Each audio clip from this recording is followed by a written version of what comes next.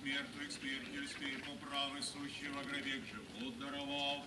Христос воскресе из мертвых, смертью смерть поправы, сущего гробек живот даровал.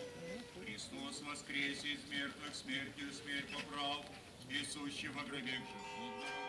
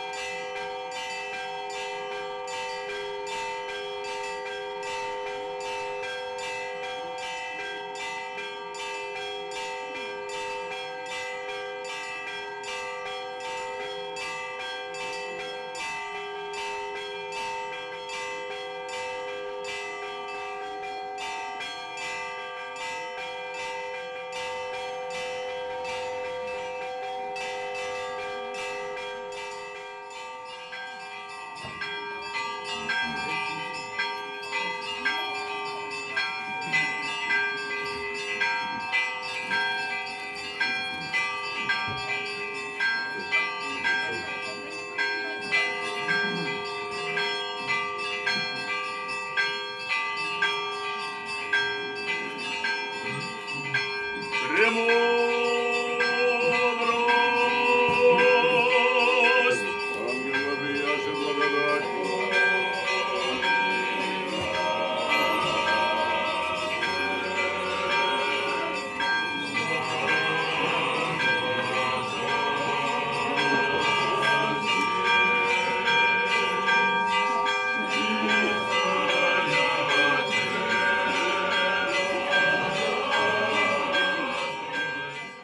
Сегодня великое событие, благодатное, знаете, как Кирия Пасха, двойная радость, так как э, будет богослужение, на котором будет прославлена десятинная икона Престой Богородицы.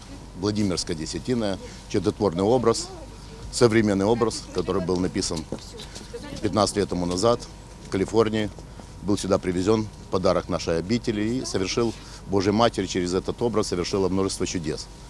Этот образ возглавил 1020-летие крестный ход, который был, все- помним, помните, по стопам Андрея Первозванного, по всему Днепру, по Черному морю, э, который был благословение блаженнейшего митрополита Владимира, Царство ему небесное. И во время этого крестного хода были совершены множество чудеса Божьей Матери через этот образ. Множество, буквально там э, есть описание этих чудес. Но основное чудо было здесь, во время 10 лет тому назад, пасхальные дни, как раз в эти дни, сегодняшние дни, было явление Престой Богородицы.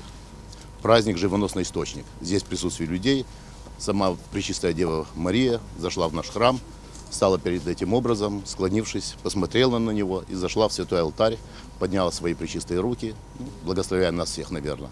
И так с этого момента, в общем-то, началось возрождение этого великого места Княжего Града. Так получается, что в храме два чудотворных образа. Один, который написан сейчас, в наше время, один, который написан еще апостолом евангелистом Лукой. Вот такой вот, знаете, у Бога нет времени. Один день как тысяча лет, и тысяча лет как один день. Написал иконописец, написал мой брат. Он, да, он получил благословение от своего старца, отец игумен Андрей Машков, такой знаменитый старец святой жизни, который благословил еще в далекие в советские времена. Мой брат художник, благословил его икон- иконописью заниматься. И вот он много расписывал, много храмов, соборов на Украине, в Соединенных Штатах Америки, ну, во всех местах, где он был. И он написал, он как раз и преподавал, он писал эту икону, показывая людям, как правильно писать. Ну, перед этим нужно помолиться, попаститься, какими пользовать красками, это же обратная перспектива. Ну, богословие в красках, это целая наука. Есть книга Ерминия называется, которая повествует и рассказывает художникам, как правильно писать икону. Как раз вот говоря о иконописи, показывая, как правильно писать икону, как раз происходили эти великие чудеса еще там, в Калифорнии. Вот чтобы икону прославляли, да, ну, тем более современную икону, не то, что написано, знаете, там, тысячи лет тому назад или там в каком-то веке, там, 200 лет назад. То есть это говорит о том, что сила Божия действует и сейчас. Не то, что когда-то было, вот сегодня ничего не происходит.